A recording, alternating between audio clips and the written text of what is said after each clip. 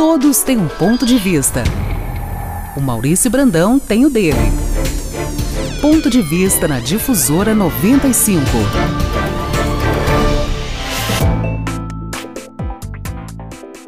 Nós temos sempre falado das dificuldades que temos vivido. E acho que é bom a gente poder falar também das coisas boas que acontecido.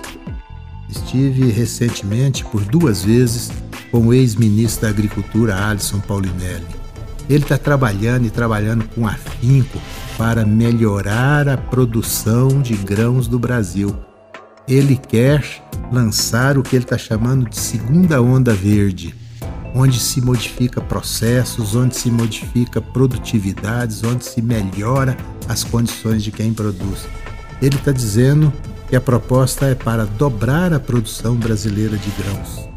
Veja, a produção brasileira de grãos, se dobrar, vai para 400 milhões de toneladas de grão.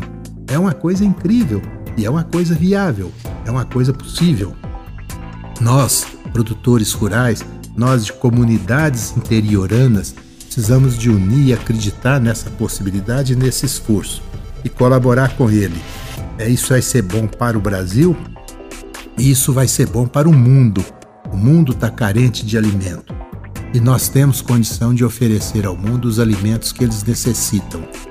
É, não, não acredito nessa, nessa impossibilidade de se produzir alimento para toda a população mundial.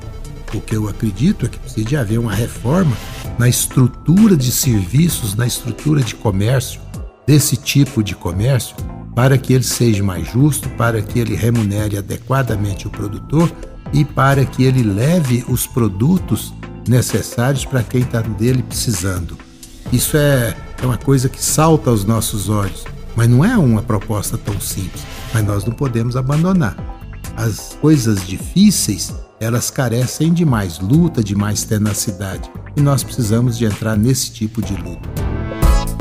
Você ouviu na Difusora 95 Ponto de Vista com Maurício Brandão.